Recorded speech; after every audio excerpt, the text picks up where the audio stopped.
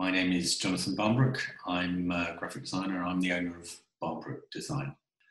So the first piece of design that I saw that I noticed was uh, a record cover um, for the album Man Machine by Kraftwerk.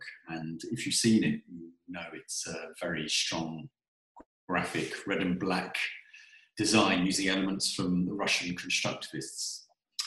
And to me, the puzzle was listening to the music and then listening and then looking at the visuals and how they connected. If it was, it was a great record cover, and the fact that if it is a great record cover, then it enhances your listening to the music, and that's a puzzle that I've sort of never understood and tried to deal with all through over 30 years of working.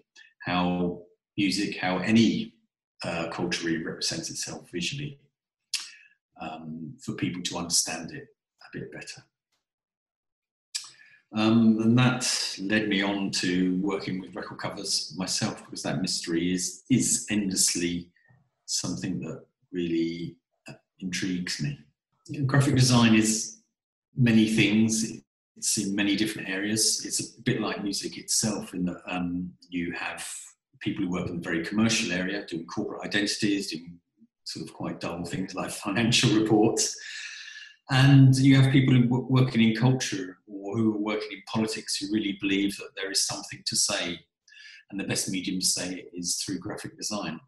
It's something I absolutely agree with because as a graphic designer, what you're doing is you don't have to go to a gallery and see piece of graphic design. It doesn't intrinsically have a have a value.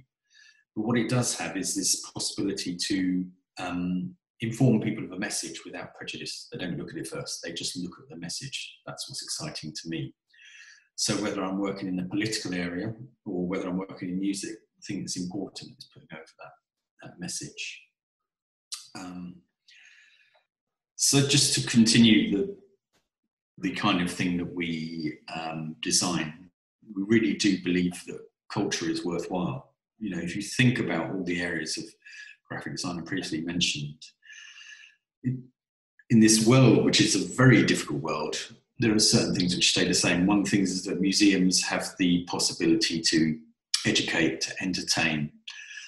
That music can people can find in it um, an avenue for them to express their feelings for a way that if their life is not going so well, it just gives them that little bit of release. And I think these things are worthwhile. Um, and that's why we work in those areas. Um, even within music, you know, the commercial and non-commercial areas, we always make sure that we do we work with artists we love. Um, for instance, when I was young, when I was 13, as well as loving Kraftwerk, there's another electronic musician I like called John Foxx, and today I work with him. Um, and it's an honour, and that's because one of the things you have to do as a graphic designer is contact people you want to work for. You can't expect come to you. What you've got to do and say, well, I want to do that, so let's contact that person.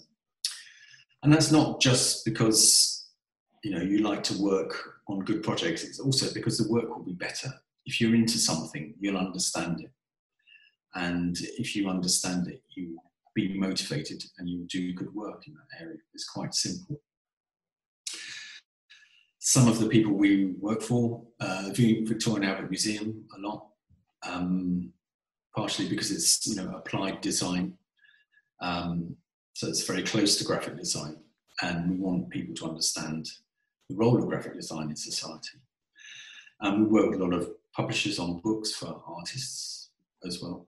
Um, one of the books we worked on recently was for Rihanna. Now, honestly, I don't know a great deal about Rihanna because I'm probably a bit too old, but um, it's not just me in the studio, there's four other people. And that was given to a younger member of the studio who's into Rihanna. Again, you've got to be into the subject, so that's quite important. Um, the projects we're working on at the moment, whenever people somebody asks me that, it's always very difficult to remember because there are in the real world, in a design studio situation, there are usually at least 10 projects at a time, and that's between four people. And you know, each one will have a different deadline. Each one will have a different way of um, sending to the client, and uh, getting feedback. So you have to juggle all these different uh, elements. Um, but we're working on a book for an artist called Mickalene Thomas, who's based in New York, very interesting artist. We're working on an album cover for someone called Gazelle Twin.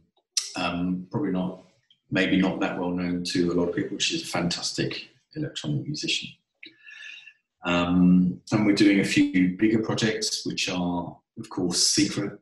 Um, you have to be good at keeping secrets as well if you're a graphic designer, because often people don't want stuff announced because it destroys the surprise. And for instance, we worked with uh, David Bowie quite a lot, working on his album covers. And the most important thing was that the press didn't get to hear about it. Now, sometimes people will make you sign a special legal agreement, but sometimes, because you work with people you love, you just don't want to spoil the surprise. The question of what I would tell students now, I mean, there are so many things. One of the wor- main worries I have is that people worry too much about getting a job, really. Um, of course, it's, it's difficult when you've got debt and you've got parents pressurizing you you know, graphic design, like any artistic area, isn't just about the end, the end result, the end result of getting a job, the end result of getting a degree. It's about the journey there. So the journey of university is as important as the end result. If you don't enjoy it, then you've wasted your time. You know, of course, the marks are important, that kind of thing, but also the partying is important. The going to the gallery is important. The sitting there doing nothing is important. The getting up late is important. You're getting annoyed about um, other people's work you don't like is important. Being influenced by other people is important. None of that is necessarily what people think about when they're applying to a college, but they're all factors. The thing to know is that you know some people may not become graphic designers as a result of the course, and actually that may be the best thing for them. Some people will. What I'm trying to say is that something will happen as a result. And in the end, your right vocation will find you. It may be that you work in an area slightly different from graphic design. Um, you could work in motion graphics, you could work in theatre production. Um, but what this course does is really it helps you find yourself. Um, it helps you on that journey. So again, I go back to being not not thinking in such a vocational way about it, but thinking about it in a creative way, in a personal development way. I think that's uh, really fundamental to being at art college, really.